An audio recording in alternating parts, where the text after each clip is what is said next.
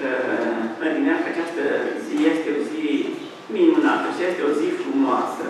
Nu atât de mult pentru că este o zi de toamnă și este așa de călduroasă și este plăcută. Uh, vrem să fie o zi frumoasă pentru că ori de câte ori venim la casa Domnului și Domnul ni se descoperă și ni se revelează și Domnul ne vorbește și aduce schimbare în inimile noastre, atunci spunem că este o zi frumoasă. De aceea dorim ca această zi să fie o zi frumoasă pentru sufletele noastre. Și de aceea doresc ca Domnul să ne binecuvinteze. Și spuneam că uh, acest verset Ferice de cei cu inima curată, căci ei vor vedea pe Dumnezeu. Priveam acest verset comparativ cu alte versete. Ferice de cei ce plâng, ferice de cei milostivi. Uh, când vorbește ferice de cei uh, săraci, uh, toate celelalte lucruri spune că izvorăsc din viața noastră, din trăsăturile ființei noastre. Însă când este vorba de inimă, ferice de cei cu inima curată, că cei vor vedea pe Dumnezeu, parcă ține chiar de centrul vieții noastre și are de-a face legătură directă chiar cu Dumnezeul nostru. Și îmi puneam această întrebare, oare de ce este așa de importantă inima, inima omului? Este importantă inima. Vorbind acum nu ca și organ intern. Pentru că Domnul Iisus spunea un lucru. Pentru că acolo unde este comoara voastră, acolo este și inima voastră. Și Domnul Iisus mai spunea că din inimă, de acolo ies toate lucrurile. E, lucrurile rele, furtișagurile, vicleșugurile, uciderile, pismele, clevetirile, mai înainte ca o acțiune să aibă loc în practică, ea are loc în minte și în inimă. Și mai repede sau mai târziu, aceea va ajunge să dea afară.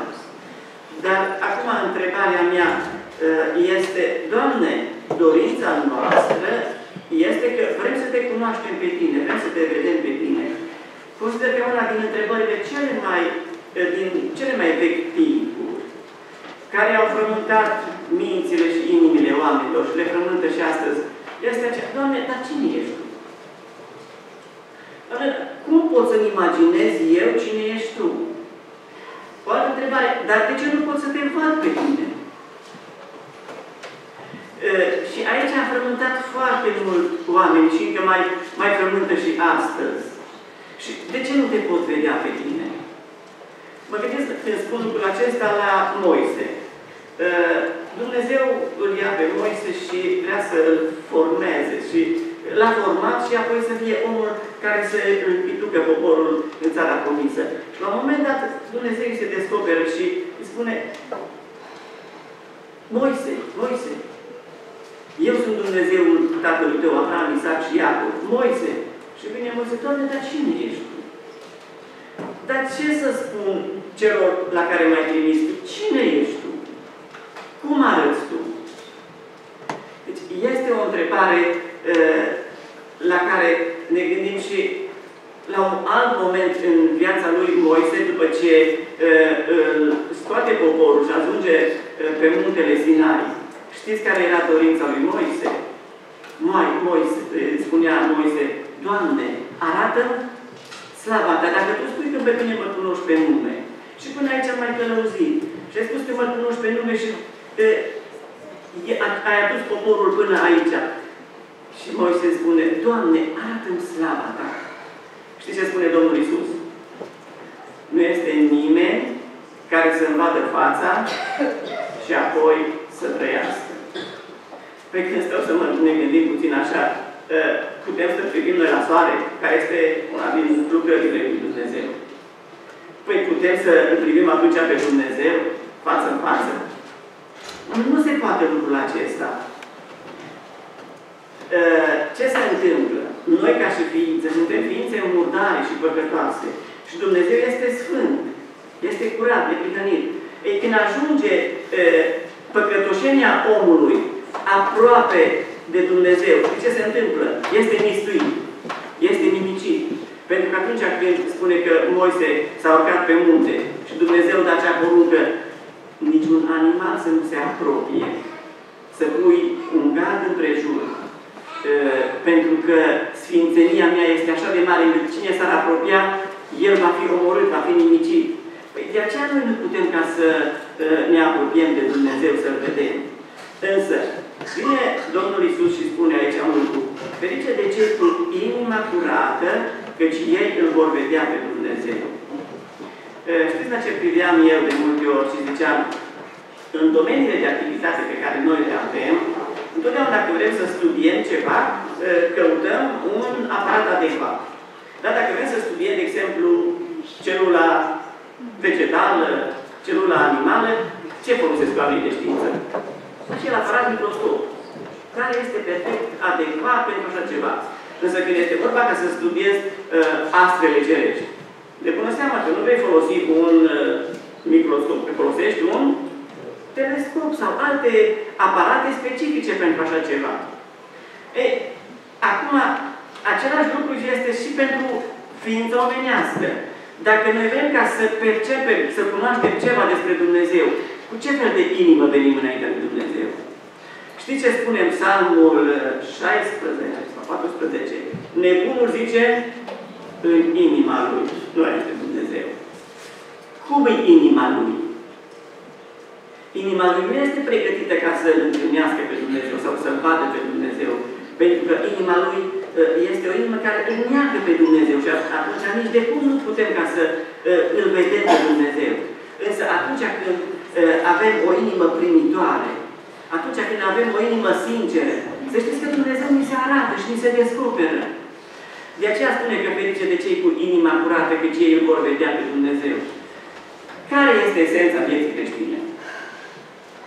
Păi nu tocmai aceasta este esența vieții creștine, viața veșnică? Nu asta este esența vieții creștine ca să fim împreună cu Dumnezeu în veșnicie? Știți ce se va întâmpla atunci? Și Pavel spune, noi acum privim ca într-o oglindă, în chip întunecos. Însă atunci îl vom vedea așa cum este El, față în față. Și acum, mi-am pus așa o întrebare. Dar de ce, Doamne, aici nu te pot vedea? Nimeni nu te poate vedea? Însă, dincolo în veșnicie, noi te vom privi față în față. Ceea ce face ca noi să nu-L putem vedea aici este păcatul. Ceea ce face ca să-L putem vedea dincolo este iertarea păcatelor noastre, ispășirea și iertarea. Priveam acum când spun aceste lucruri la Ioan. Ioan n-a fost cel care era foarte aproape de Domnul Isus Hristos. Cel care se rezema pe pieptul Domnului Isus. N-a fost cel care făcea parte din grupul intim al Domnului Isus Hristos. Făcea parte din cel care a fost pe muntele schimbării la față. A fost cel care a fost în grădina Ghețimanii când a spus că i-a luat pe alți trei ucenici lângă el. Și de ce atunci Ioan, în Apocalipsa, capitolul 1, versetul 17, 17 spune Când l-am văzut, Ioan era pe pământ și avea acea viziune. Când l-am văzut, și că am căzut ca și mort. Dar Ioane, tu ai fost prieten cu Domnul Iisus. Ce s-a întâmplat lucrul acesta? Aceasta este o realitate. Dar în adâncul ființelor noastre, nu este această, Doamne, în Psalmul 15, Doamne, cine va locui în corpul Tău cel Sfânt? Cine va locui pe muntele Tău cel Sfânt? Cel ce umblă de prihănire, Cel ce face voia lui Dumnezeu, Cel ce spune adevărul din inimă, iar în Psalmul 24 spune, Doamne, dar cine va ajunge acolo în locul Tău? Cel care are o inimă curată. Ei, de aceea Domnul Iisus vine și spune, ferice de cei cu inima curată, căci ei îl vor vedea pe Dumnezeu. Știți de ce este așa de importantă inima noastră? Și Domnul Iisus când vine și spune, ați auzit că s-a zis, ochi pentru dinte pentru dinte, bunătaie pentru bunătaie. Ceea ce dorea Domnul Iisus să facă prin mesajul cuvântării de pe munte și uh, în deosebire acum cu fericirile, vrea să schimbe ceva în inima noastră. Și atunci când se schimbă în inimă, automat s-au schimbat și celelalte. Ce am constatat ieri. Și cred că fiecare dintre noi a constatat lucrul acesta. Și avem copii și am încercat o regulă disciplinară. Și într-adevăr spune și în Biblie, nu cruța în piaua, învață pe copilul tău și vezi că parcă tot mai încăpățânat, tot mai încăpățânat. Și Domnul Iisus ceea ce vrea, vrea să ajungă la inima omului. Este că a fost în societatea noastră, un timp. Eram încă mic, când spuneau părinții, domnul profesor, bateți-vă, nu cruțați. Și două, până, era procedura aceea. Ce interesant că acum s-a schimbat și zice, nu, n-ai voie, acum trebuie să-l înveți pe copil. Problema este, că este fără Dumnezeu. Este fără Dumnezeu. Și învață tot felul de lucruri. El trebuie, ascultam într-o zi la un psiholog care spunea, face nu spune că copilul tău este încăpățânat. Spune că are o personalitate puternică. Că nu voi să spui nu, nu. Trebuie să-l canalizezi. Această învățătură fără Dumnezeu nu este sofită eșecului. Însă ceea ce vrea Domnul Iisus să facă este să schimbe inima. Acolo să ajungă. Și când spune dacă cineva te-a lovit, păi ceea ce prima dată este în inima mea, ce este? Mânia. Răzvrătirea. Și atunci când Domnul Iisus, dacă te-a lovit, tu întoarce și celălalt obraz. Credeți că aceasta vine dintr-o forțare sau dintr-o uh, învățătură a lumii acesteia? Nu poate să vină decât dintr-o schimbare a inimii. Știți ce a constatat Dumnezeu uh, după primii oameni și când a văzut că oamenii merg din rău în mai rău, Dumnezeu a constatat un lucru.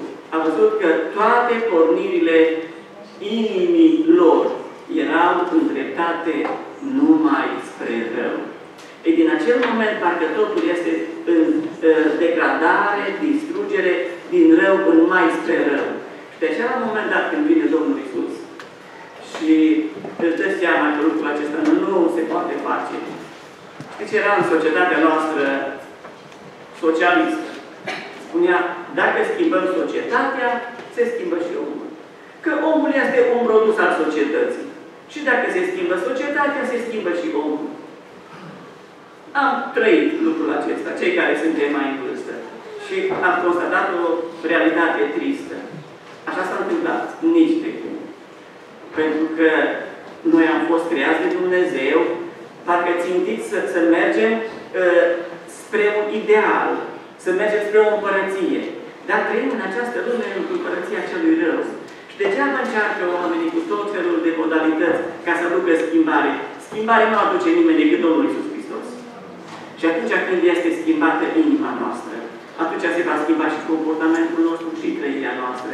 De aceea este așa de importantă inima. Și Domnul Iisus aceasta vrea să facă. Să spună, ferice de cei cu inima curată, căci ei vor vedea pe Dumnezeu.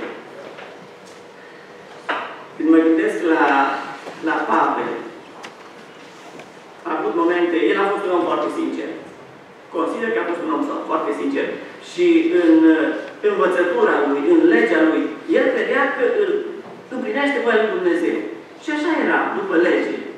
Însă, văzând Domnul Iisus sinceritatea lui, a spus, omul acesta, dacă mă ating de inima lui, el va, veni, va fi un mare propovăduitor al împărăției. Și de acela moment dat, spune că mergea cu scrisori de afectare, cu, uh, vine și îi apare în față. Știți ce vede el și spune el? O lumină extraordinară a apărut în fața mea. Și am rămas ca și un orb. Și a rămas orb. Pentru că omul în starea lui, când se întâlnește cu strălucirea lui Dumnezeu, el este orbit. De aceea, noi, ca și oameni, dacă vrem să-L vedem pe Dumnezeu, ceea ce trebuie să privim, cât este de curată inima noastră. De multe ori privesc la fața oamenilor. Și când văd o față tristă și posomorită, nu știu cât de mult locuiește Dumnezeu acolo. Știți ce a spus Dumnezeu lui Cain? Caine, ce ți fața care deja bugeta el niște lucruri și ce ți-e fața tristă? Păcatul plândește la ușă, dar tu să-l stăpânești. Zice, pentru că aminte, când era copil, avea noi o carte, Inima omului. Și era o, o inimă și uh, dacă fața omului era, deci era omul care era în lume și încetul cu încetul el începea să ia contact cu Dumnezeu, cu lui Dumnezeu și transformarea pe care o face Dumnezeu și dintr-o inimă plină, apăsată, așa era cu ridul, dintr-o dată devine o față senină. Acolo unde este Dumnezeu, este o față senină, este plină de pace și de bucurie. Deci asta ar trebui să se vadă. Și Domnul Iisus asta vrea să facă, să aducă o schimbare în inimile noastre. De aceea aș vrea ca Dumnezeu să facă lucrarea aceasta în inimile noastre. Și să primim, Doamne, noi vrem să te vedem pe tine. Pentru că timpul când trăim pe acest pământ nu este acela decât un moment de pregătire pentru momentul când vrem să fim cu tine veșnicia, veșnicia întreagă. De aceea, dă-ne o inimă înțeleaptă.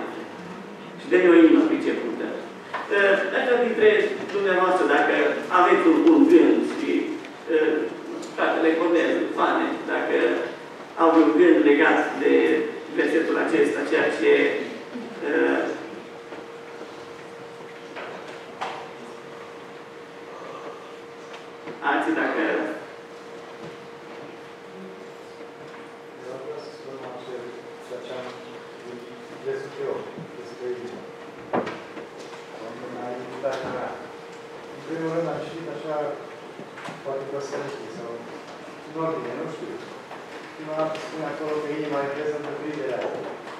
trebuie schimbată. Și atunci am realizat că, într-adevăr, sângele Domnului nostru Iisus Hristos spală orice. Și spală și inima noastră. Dar El nu o spală. Nu o spală pentru un singur motiv, pentru că trebuie schimbat. Nu că n-am putea spăla. Și un exemplu pe care știți și dumneavoastră, sau să practicați atunci când spălați haine, o haină care trebuie aruncată, nu o mai spălați. Și cam asta se întâmplă și cu inima noastră. Spune Domnul că trebuie să vă dau o inimă nouă. Și atunci când am înțeles eu că a Domnului, am crezut că mi-a pus și o inimă nouă. Și nu mai trebuie să facă nimic. Ce trebuie să mai fac acolo? Dacă inima aceea e pusă de, de Domnul Iisus și ea lui, el trebuie să se ocupe de ea.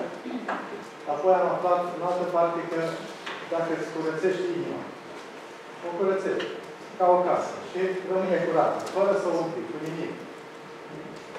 Vine dracul care ți-a dus de la tine și mai aduce câțiva. Și omul ăla zice, care a fost într-o stare deplorabilă, va ajunge mai rău decât la început. Și apoi ne spune aici în Coloseni ce trebuie să facem cu inima. Sau când ne îmbrăcăm, că probabil o să vină vremea când trebuie să mai punem o haină pe noi. Să ne mai îmbrăcăm. Și ne spune atunci când ne îmbrăcăm pe omul cel nou. Uitați ce vă spune aici în Coloseni. Lucruri pe care le știți și noastră și eu. Și v-ați îmbrăcat cu omul cel nou, care se numește spre cunoștință după chipul celor ce l-a făcut. Aici nu mai sunt nici grec, nici iudeu, nici tăiare de jur, nici netăiare de jur, nici barbar, nici schip, nici rob, nici slobod, ci Hristos este totul și în toți. Astfel, dar, ca niște aleși al lui Dumnezeu, sfinți și prea iubiți, îmbrăcați-vă cu o inimă plină de îndurare, cu bunătate, cu smerenie, cu tibidețe, cu încărită răzare. Am înțeles că trebuie să facem și noi ceva. Când este vorba despre inimă. Mulțumesc Domnului că ne descoperi și mie că trebuie să fac ceva. Și să ne arăte Dumnezeu să ne îmbrăcăm cu inima aceasta. Cred că trebuie să ne îmbrăcăm și în casă, că și în casă ne îmbrăcăm. Și ce trebuie să ne îmbrăcăm? Și acolo trebuie să fie inima asta și mai ales când ieșim. Să ieșim cu această inimă. Aș să întreb adunarea, este care noastră poate să susține să nu are cât astăzi? Și prin versetul, numai cei cu inima curată vor vedea pe Dumnezeu. Deci înseamnă că nimeni astăzi nu avem posibilitatea să vedem pe Dumnezeu. Pentru că nu avem o inimă curată. Însă totuși, cred că Iisus despre tot altceva vorbește. Știți cine am fost eu înainte de a vorbi cu Domnul? Am fost un bus, am fost un culpar, am fost un bățin. Va fi rușine cu mine dacă astăzi v-aș fi stat în starea în care am fost. Și totuși, Dumnezeu mi-a îngăduit să mă apropii de Sfințenia Lui să-L văd, neavând inima curată, din punctul de vedere a păcatului. Inima curată înseamnă atunci când nu mai joci frente cu Dumnezeu. Atunci când Cuvântul Dumnezeu spune despre tine un anumit lucru, să nu te mai ascunzi ca și avem în spatele tufișurilor, ca și cum nu s-a întâmplat nimic cu tine. Atunci când Dumnezeu spune că inima ta arată în felul ăsta, ești un avar, ești un curvar, ești un hoț, ești, ești, ești, fiecare știm, să nu te mai ascunzi de Dumnezeu. Și atunci citesc din nou versetul ăsta, fericit de cei cu inima curată, de cei vor vedea pe Dumnezeu. Până în momentul în care va veni Iisus după noi, până în momentul în care Dumnezeu ne va îngădui zile pe pământul ăsta, suntem în planul Duhului Sfânt ca să ne curețe de toate lucrurile pe care Dumnezeu le consideră păcat, nu pe care noi le considerăm. Noi ne-am creat o epihănie noastră proprie și imaginea noastră cu privire la propria noastră imagine. În momentul în care îl lași pe Dumnezeu să te radiografieze, atunci ai o inimă sinceră, o inimă curată, pentru că nu mai joci frente cu Dumnezeu. Dorința mea e să lăsăm pe Dumnezeu să, să-mi deschidă Duhul, să înțelegem numai cât trebuie, nici mai mult, nici mai puțin. Numai cât trebuie să fim în același Duh în care Domnul Iisus a spus cuvintele astea. Să nu adăugăm la cuvintele lui Iisus propria noastră percepție asupra curăției inimii sau asupra unei sfințeni pe care mintea noastră o generează. Să rămânem exact în cuvântul pe care Iisus l-a spus. Ferice de cei cu inima curată. Când nu mai joc fente cu Dumnezeu, atunci am o inimă curată. În Psalmul 139 spune, Doamne, cercetează în inima și cunoaște inima și încearcă-mă și vezi dacă sunt pe o cale rea și dumă pe calea veșniciei. În fața acestui cuvânt, că fiecare dintre noi nu putem altceva decât să ne cercetăm și să spunem, Doamne, Tu ești Cel care mă cercetezi și dorința mea este să ajung pe calea veșniciei. Însă, un lucru, ca să spun, cel care este sincer, Dumnezeu se descoperă. Cel care este sincer cu Dumnezeu. Și când spun lucrul acesta, mă gândesc la, la mama mea. Ea a fost prima persoană din sat care s-a întors la Domnul. Și spunea așa, eu mergeam la Biserica Ortodoxă și așa eram sincer și mă rugam. Și nu era nimeni care să...